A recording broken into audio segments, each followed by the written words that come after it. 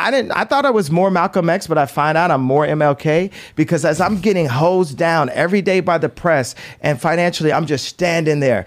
And when when I found out that they tried to put me in jail, it was like a dog was biting my arm, and I I, I, I almost shed a tear, almost. But I still walked in stride through it.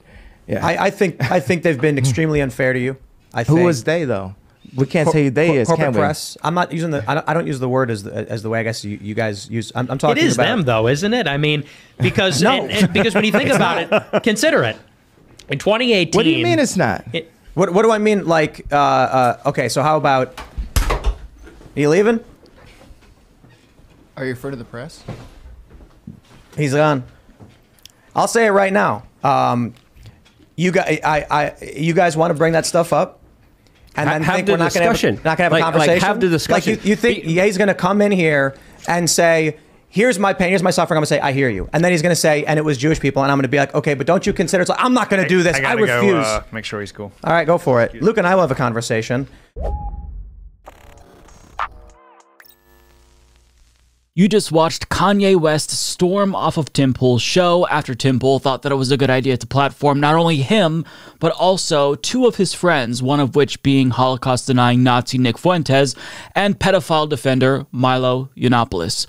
Now, during the live stream, you can see that Tim Pool's audience was posting L's since Tim Pool refused to go along with Kanye West's anti Semitism. And shout out to Dr. Heem who shared this video, by the way. And I've just got to point out that this is the audience that so called centrist Tim Pool has cultivated, where your own viewers are criticizing you and calling you out because you refuse to say anti Semitic things, to go along with Kanye West's anti Semitism. So, yeah, maybe this is your indication that you should reverse course, but he's not going to do that. But more on Tim Pool later.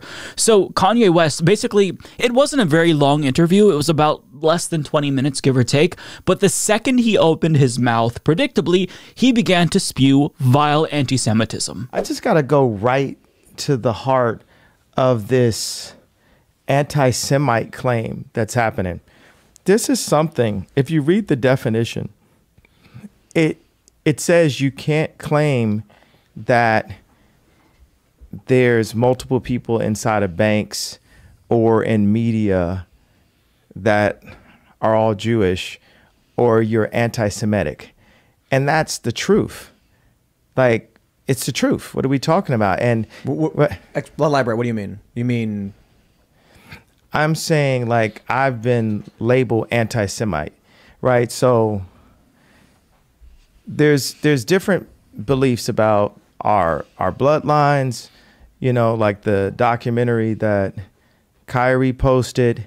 And in general, America has been left ignorant and history has been changed. So when we start questioning things that question the indoctrination, then you immediately get, you know, um, you said debanked or de- what did you say happened to you or Demonetized, deplatformed. de- yeah, demonized, demonetized. And what's so beautiful about this time is everyone got to see what's really been happening. And now we can really understand. We can see that Rahm Emanuel was right next to Obama, and then Jared Kushner was right next to Trump. Ta-da! But so, you, so we're, we're, we're getting right into it, I guess, right? I was I was hoping to go for the news first before we got into all of this stuff. Uh, I think I think the issue is uh, one way to put it is you're expounding upon a localization issue that you've witnessed, right? Let, let me let me clarify. There are a handful of people that you see are Jewish in a certain place, and then you associate Judaism with the power as, whereas I view that as not relevant to it. Like, yeah, you're substantially more powerful than I am, but I don't view what you're doing as an issue of black people. Yeah, but have you ever heard the term the black vote?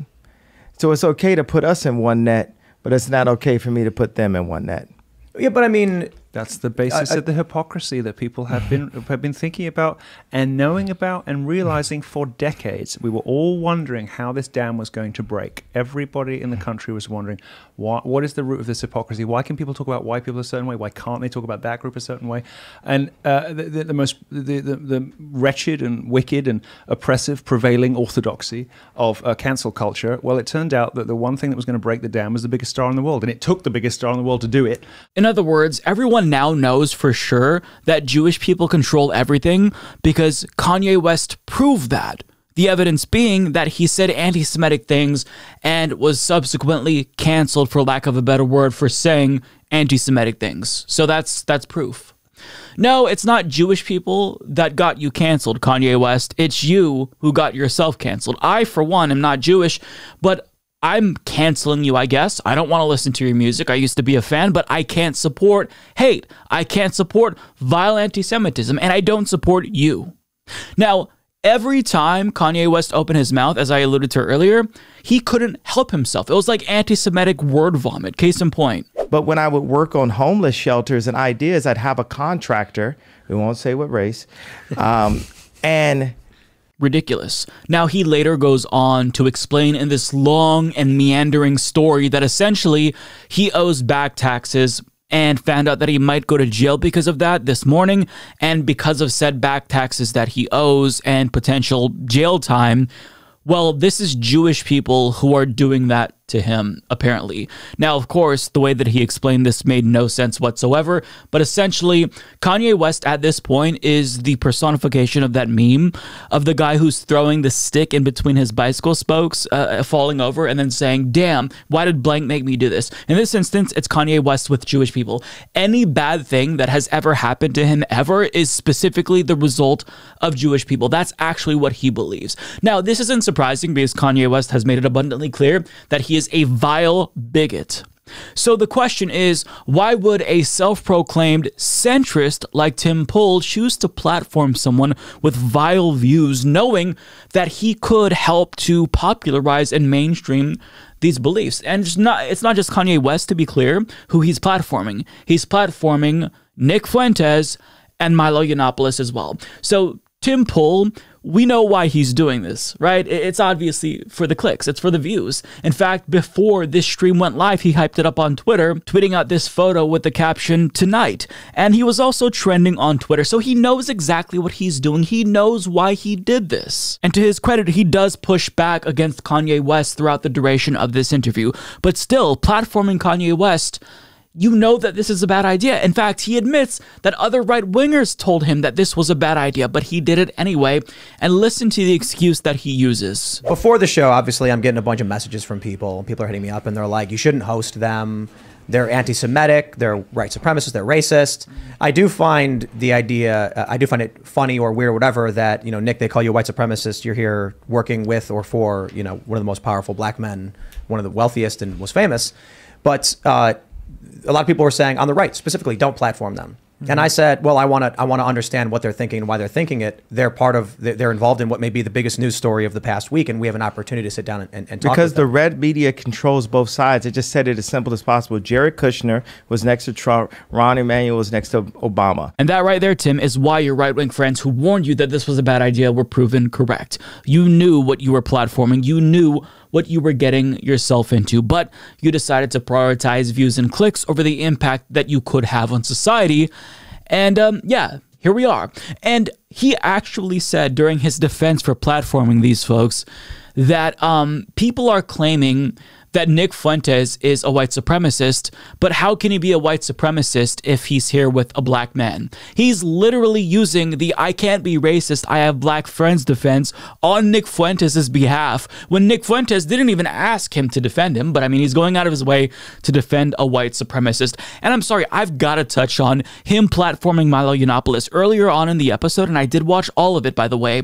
Milo Yiannopoulos alluded to the fact that he was also on Tim Pool's program not that long ago. And it's interesting because last week I thought that Tim Pool was really concerned about groomers. He claimed that Club Q that was shot up hosted a grooming event, and then when people explained to him how this was a lie that was harmful, he laughed it off and doubled down. But yet, for views and clicks, Tim Pool decided to bring on an actual groomer, or at least someone who defends grooming and outright pedophilia. Let me remind you about who Milo Yiannopoulos is. The New York Times explained in a 2017 article, quote, no, no, no, you're misunderstanding what pedophilia means, Mr. Yiannopoulos says on the tape in which he is talking to radio hosts in a video chat. Quote, pedophilia is not a sexual attraction to somebody 13 years old who is sexually mature. Pedophilia is attraction to children who have not reached puberty, he adds, dismissing the fact that 13 year olds are children. The notion of consent, he says, is arbitrary and oppressive. At one one point in the video, an unknown speaker says that the behavior being defended by Mr. Yiannopoulos is akin to molestation by Catholic priests. Mr. Yiannopoulos responds in an ironic tone by crediting a priest for having helped develop his sexual technique. Hey, Tim, there's the groomer that you and your right wing buddies have been so concerned about. He's right there on your program. He explicitly defended pedophilia and you're just okay with that? You're okay with platforming this person and rehabilitating his career after he was rightfully canceled for defending pedophilia? You're helping to resurrect the career of Milo Yiannopoulos, but yet you had no problem claiming that the LGBTQ plus nightclub, which was shut up, hosted a grooming event with no evidence that there was grooming or sexual molestation going on. But yet you have no problem benefiting off of an actual defender of pedophilia if it leads to you getting views and clicks. It's just genuinely despicable. And the reason why I think that so many people, Tim, were frustrated by your tweets and your whole anti groomer rant is because you should know better. Everyone knows that you're not a centrist, but you at least are seemingly more reasonable than other right wing propagandists. You know that not all queer people are groomers. You know that the grooming bullshit by the GOP is fabricated, but yet you played along with it. All because you know who your audience is. You know that that's what your audience wants to hear. So you're giving them what they want for views and clicks. So people were disappointed in you because we expected better of you, myself included. But I guess that that is, just makes me naive. But I mean, this is now what Tim Pool is doing, platforming vile anti Semites, including Holocaust denying white supremacists and pedophile defenders, all so he can get his name out there, all for clicks and clout.